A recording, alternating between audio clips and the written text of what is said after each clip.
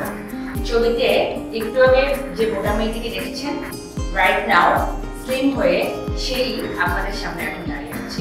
চলুন, তার আজকে আমি আমার শুরুটা ছিল ঠিক এভাবেই যে আমি যখন খুব বেশি মোটা ছিলাম, আমার ইনিশিয়াল স্টেজে আমার ওয়েট ছিল ninety one kg and right now আমার এখন fifty four to fifty five এর মধ্যে আমি কনভার্ট হচ্ছি, যেটা আমার জন্য সবচেয়ে আমার লাইফের একটা পেইনফুল পার্ট আমি পার করে আসছি।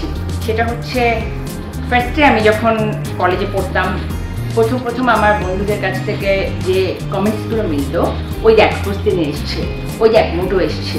তো ক্যান্টিনে খেতে দিতাম এরপর আমাকে বলা হতো, আয়, ওকে বেশি করে খেতে দে, ওর সাইজ দেখে বুঝছিস না যে ও খেতে কত পছন্দ করে? সেকেন্ড থিং আমি যখন আমার বন্ধু বান্ধবদের সঙ্গে কোনো আউটফিট কিনতে যেতাম, সবার জন্য এক্সট্রা স্মল স্মল কিংবা মিডিয়াম যেখানে লাগতো, আমার জন্য সেখানে লাগতো এক্সেল ট্রিপল এক্সেল কখনো ডাবল এক্সেল আস্তে আস্তে দিনকে দিন আমার এরকম করে বেড়ে বেড়ে যাচ্ছিল।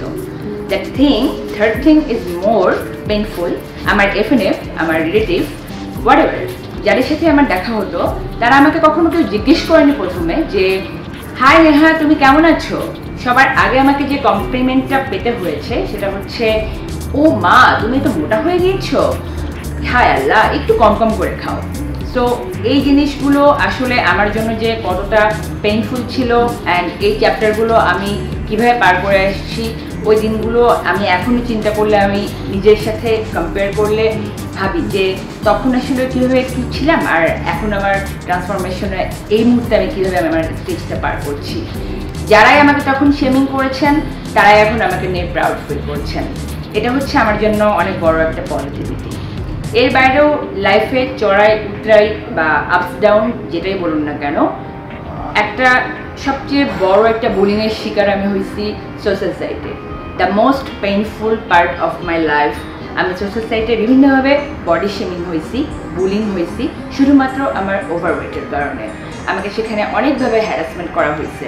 যেখানে আমার ফ্রেন্ডরা কামিজ পরতো বা গাউন টাইপের ড্রেস পরতো বা ফ্রক পরতো বা যাই পরতো না কেন, আমিও যেখানে সেম টাইপের ড্রেস পরতাম বাট ভালো কমপ্লিমেন্টগুলো যেত শুধুমাত্র তাদের জন্য। কেউ কিন্তু আমাকে বলতো না যে তোমাকে অনেক কিউট লাগতেছে বা তোমাকে ড্রেসটা অনেক মানাচ্ছে। কিন্তু আমার পাশে থাকা বন্ধুদেরকে থেকে বলছে, তোমাকে অনেক কিউট লাগছে, তোমাকে অনেক সুন্দর লাগছে, কিংবা তুমি অনেক কার্ভি হয়ে গেছো, তুমি অনেক বেশি স্লিম হয়ে গেছো। আমার বন্ধুদের যেখানে ছবিতে ভালো কমপ্লিমেন্ট মিলছে, সেখানে আমাকে কোনো কিছু না বলা মানে ওয়ান কাইন্ড অফ ইনসাল্ট আমার কাছে। সো দিনের পর দিন অনেক কিছু মিলিয়ে আমি অনেক ডিপ্রেশনের মধ্যে চলে গেলাম। অ্যাট এ টাইম একটা সময়ে আমার শরীরে অনেক বড় রোগ ধরা পড়ল, যেটা আমার ওভারওয়েটের কারণেই হলো। আমার হাঁটুতে কোলেস্টেরল জমা হয়ে গেল। আমি যা চিকিৎসা করার জন্য ইন্ডিয়াতে গিয়েছিলাম। তো ইন্ডিয়াতে আমাকে অনেকভাবে ট্রিটমেন্ট করার পরে আমার ধরা পড়ল যে, এই কোলেস্টেরলটা কোনোভাবেই কমানো সম্ভব না। এর একটাই সলিউশন আমাকে ওয়েট লস করতে হবে। আমার ওভারওয়েটের জন্য আমি হাঁটতে পারছিলাম না। অনেকটা আমাকে খুঁড়িয়ে খুঁড়িয়ে হাঁটতে হচ্ছিল। এবং কোলেস্টেরলটা এমন জায়গায় জমা হয়ে গেছিল যেটা ইঞ্জেকশনের সিরিঞ্জ দিয়েও বের করার কোনো উপায় ছিল না। সব কিছু মিলিয়ে আমার অবস্থা এমন ছিল, আমি যদি ওয়েট লস মানে করার জন্য কোনো অ্যাটেম্প না নিতাম, তাহলে হয়তো আমাকে একদিনে বিছানায় পড়ে থাকা লাগতো। And the next part is আমি যখন ফার্স্ট যখন আমার ওভারওয়েট থেকে নিজেকে আমি ফিটনেস লাইফে নিয়ে আসার সিদ্ধান্ত নিলাম, ঠিক ওই মুহূর্তে আমি যখন কোনো কিছু ভেবে কুল কিনারা পাচ্ছিলাম না। ওই মুহূর্তে আমি ডিসিশন নিলাম যে আমি জিম দিয়ে শুরু করব। বিকজ আমাকে অনেকেই সাজেস্ট করছিল অ্যান্ড আমি অনলাইনে যখন আমি অনেক কিছু সার্চ করা শুরু করলাম, অনেক কিছু দেখা শুরু করলাম যে কীভাবে মানুষ ওয়েট লস করতেছে, তাদের বেশিরভাগ পার্টি আমি দেখলাম যে যারা জিম বা ওয়ার্কআউট অনেক কিছু দিয়ে শুরু করছে। অ্যাজ আমি আমি সহ অনেকেই জানেন যে ঢাকাতে আসলে সবার বাড়ির সামনেই খুব একটা বেশি ফিল্ড বা পার্ক সব কিছুর আসলে অপশন থাকে না। তো আমার বাসার সামনে আসলে ওরকম কোনো অপশন নেই। অ্যান্ড তখন আমি যখন জিমের সিদ্ধান্ত নিয়েছি তখন আমার মাথার মধ্যে জিম বা এক্সারসাইজ এই দুটো শব্দ আমার কাছে একদম বলতে গেলে নিউ বর্ন বেবি ঠিক কীভাবে?